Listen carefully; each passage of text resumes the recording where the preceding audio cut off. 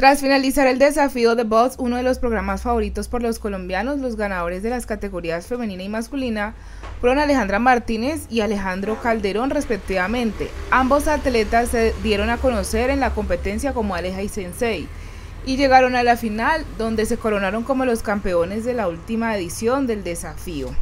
La gran final de este año 2023 fue una de las más polémicas y de las más comentadas en redes sociales debido a que en la prueba de mujeres las dos finalistas Guajira y Aleja disputaron una prueba de infarto. El resultado de esta fue señalado por muchos como un golpe de suerte que le llegó a Aleja. Sin embargo, la campeona se ha defendido frente a miles de comentarios que la acusan de no merecer el premio. Por su parte, Guajira ha mencionado que a pesar de que ella no ganó, está contenta con el resultado, pues fue la voluntad de Dios y que esta experiencia era apenas el comienzo de todo lo que vendría en el futuro para miles de fanáticos del programa.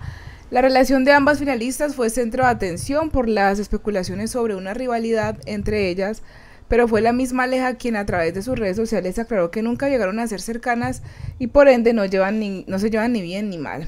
Cabe recordar que ambos deportistas se llevaron consigo la modesta suma de 400 millones de pesos. Cada uno, sin embargo, según la ley, existe un impuesto que las personas deben pagar cuando ganan un premio de forma repentina, se conoce como impuesto de ganancia ocasional. Dicho tributo comprende que se descuenta el 20% de las ganancias totales para cubrirlo.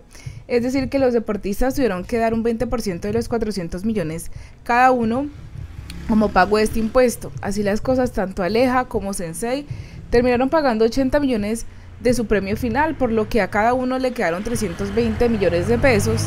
Cabe mencionar que en este tipo de impuestos se comprenden las ganancias ocasionales obtenidas de realities, balotos, loterías y juegos de azar.